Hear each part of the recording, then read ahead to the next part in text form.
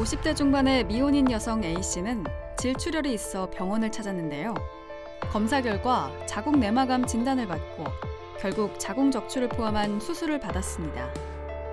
자궁 경부암, 난소암에 이어 3대 부인암이지만 아직 대중들에게 덜 알려진 자궁 내막암은 어떤 질환인지 들어봅니다. 자궁 내막이란 자궁 안쪽을 덮고 있는 조직을 말합니다. 이곳에 비정상적인 암세포가 자라는 것을 자궁 내막암이라고 합니다. 대부분 폐경 이후 나이인 50대 후반에서 60대 초반에 발생합니다. 2013년 대한 부인종양학회에서 발표한 부인암 통계에 의하면 최근 자궁경부암은 점점 감소하는 반면 난소암과 자궁내막암의 발병률은 눈에 띄게 증가하는 것으로 나타났는데요. 특히 자궁내막암의 경우 지난 10년간 환자 수가 2.5배 이상 증가해 미래에는 가장 흔하게 발병하는 부인암이 될 것으로 예상되고 있습니다. 주로 수치가 높은 여성 호르몬, 즉 에스트로겐이 자궁 내막암을 일으킨다고 알려져 있습니다.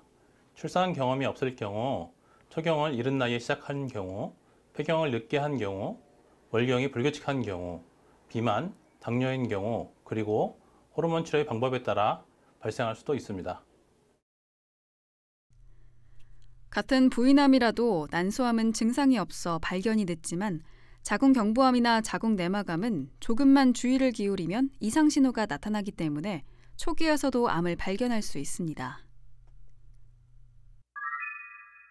대부분의 경우 질출혈이 초기 나타납니다. 특히 폐경 이후 여성에서 질출혈이 있는 경우 자궁 내막암을 꼭 의심해 보아야 합니다. 대부분 질출혈이 유일한 증상이고 암이 상당히 진행된 경우에는 아랫배 통증이 있을 수도 있습니다. 다른 암들과 같이 급격하게 체중 감소가 있거나 근력이 떨어지거나 빈혈이 나타날 수도 있습니다. 자궁 내막암의 병기는 암의 중증도, 즉 진행 정도를 지칭하는 것으로 암의 크기, 주위 림프샘의 침범 및 전이 여부 등에 따라 보통 1기에서 4기까지 나눕니다. 자궁 내막암의 1기는 암이 자궁에 한정되었을 때, 2기는 암이 자궁 경부까지 침범했을 때, 3기는 암이 자궁의 주변 조직으로 퍼졌으나 골반 밖으로 전이되지 않고 방광이나 직장을 침범하지 않았을 때, 4기는 암이 방광이나 직장을 침범했거나 골반 밖으로 전이되었을 때를 말합니다. 병원에 오시면 질 초음파 검사로 자궁 내막의 모양과 두께를 관찰하여 이상 소견이 있는지를 확인합니다. 자궁 내막 두께가 두껍거나 모양이 이상한 경우에 조직 검사를 시행하여 확진합니다. 조직 검사는 질과 자궁 경부를 통해 자궁 내막을 채취하는 방식으로 이루어지며 필요한 경우 자궁 내막을 긁어내는 자궁 내막 소파술이나 자궁 내시경 검사를 하기도 합니다. 자궁 내막암은 비교적 조기에 질출혈의 증상을 보이는 경우가 많아 초기에 발견되는 경우가 많은데요. 적절한 검사와 치료에 의해서 1기의 경우 80%, 2기의 경우 79%의 완치율을 기대할 수 있습니다. 하지만 3기 이상에서는 완치율이 급격히 감소하므로 정기검진과 조기 발견을 통한 치료가 가장 중요합니다. 가장 기본이 되는 치료는 수술입니다. 자궁 전체와 난관, 양측 난소를 모두 제거합니다. 추가로 골반이나 대동맥 주변에 있는 림프절을 절제하여 혹시 주변 림프 조직에 퍼지지 않았는지도 함께 확인합니다. 수술로 제거한 조직을 가지고 조직 검사를 시행한 후 암의 병기를 결정하며 재발률이 얼마나 되는지 따져봅니다. 조직 검사 결과에 따라 재발률이 높다고 생각되는 경우에는 추가로 방사선 치료나 항암 치료를 시행할 수도 있습니다. 자궁 내막암의 1차 치료가 실패하면 대개 2년 안에 재발하는데 치료 전에 병이 많이 진행됐거나 세포의 악성도가 높을수록 재발 시기가 빨라지는데요. 재발했더라도 질의 끝부분이나 골반 안에만 병이 있다면 치료가 가능한데 그렇지 않으면 사망률이 매우 높습니다. 자궁 내막암은 보통 초기에 진단되는 경우가 많고 그런 경우 수술만으로 거의 완치됩니다. 재발이 많지 않아 예후가 좋은 편입니다.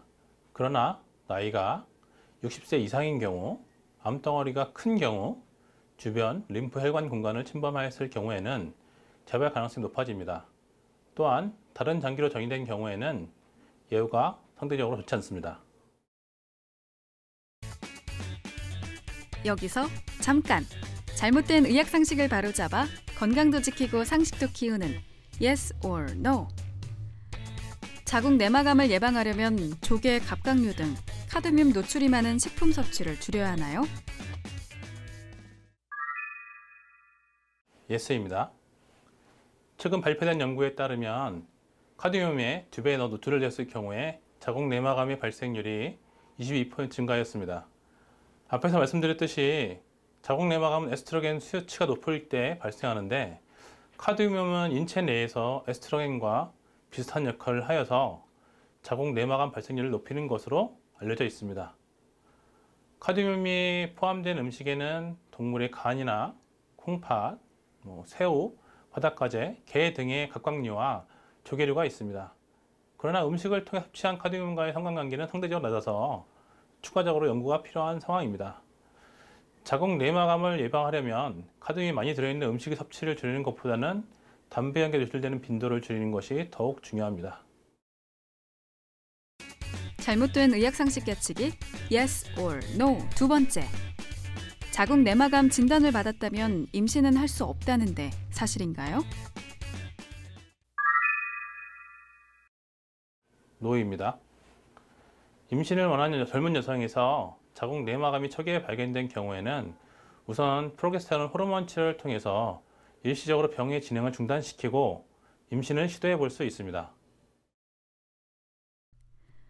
호르몬 치료를 받고 있지 않은 폐경 후의 여성에게 질출혈이 있는 경우에는 반드시 주치의와 상의하여 그 원인을 밝혀야 합니다.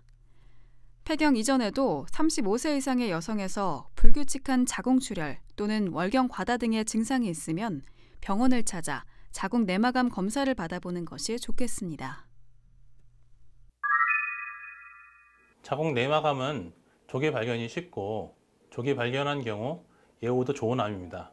그러니 질출혈이 있으면 그냥 넘기지 마시고 산부인과에 꼭 내원하셔서 자궁 내막에 문제가 없는지 출혈이 있는 이유는 무엇인지 꼭 확인해 보시기를 당부드립니다. 출산 경험이 없는 여성의 경우 자궁 내마감을 포함한 부인암에 더욱 취약하다는 사실을 늘 염두에 두어야 하는데요. 월경 관련 문제가 생기거나 하복부에 통증이 생긴다면 산부인과를 방문하고 정기검진을 꾸준히 받는 것이 좋겠습니다. 메디컬 플러스 오늘 준비한 소식은 여기까지입니다. 다음 시간에 새로운 소식으로 다시 찾아오겠습니다. 시청해주신 여러분 고맙습니다.